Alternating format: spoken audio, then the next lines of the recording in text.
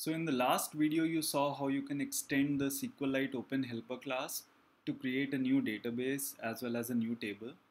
So now consider a scenario where you create an app, you have this table and uh, people start to download your app, you know, and they start to take surveys. Okay. And down the line, say a month or two, you decide to add a couple of more columns to your app it, it can be like a date field. It can be like uh, some analytics related field.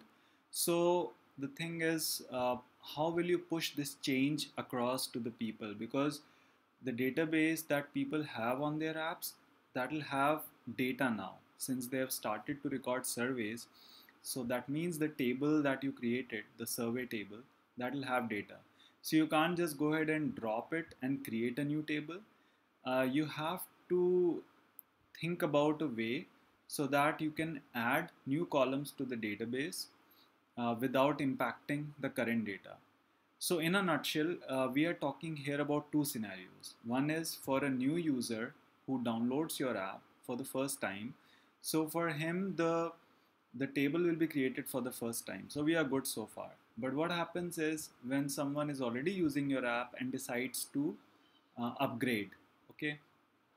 So Android, um, basically the SQLite Open Helper class uh, provides a really good approach for this. I mean a way for this.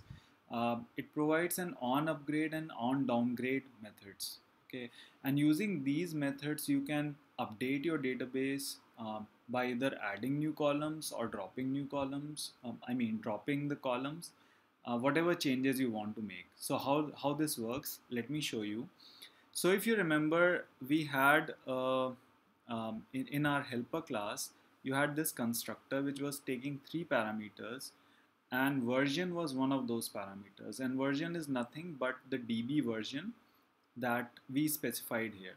And initially we specified it as 1 now if you want to upgrade your database then you just have to increase this value say to 2 okay now what happens is uh, this happens like internally so when the constructor gets called and it checks the version and the version is more than the one which was specified earlier then the on upgrade method is called okay? And you need to override this method.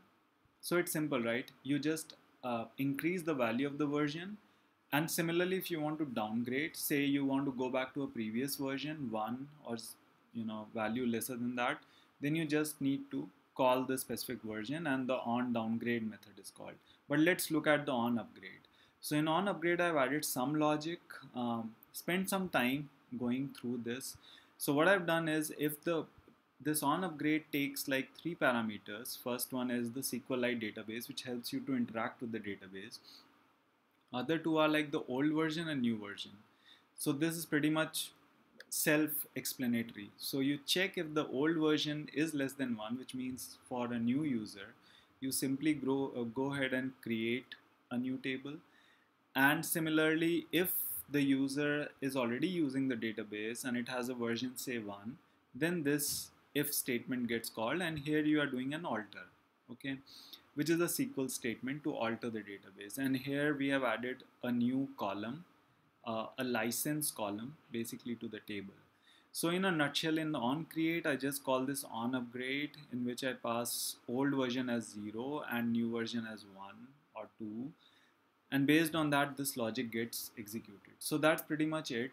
This is how it works. Uh, go ahead, spend some time. Um, you can refer to my blog. You can refer to the GitHub source code, the link which I'll provide in this video and try to experiment on your own. Okay, thanks.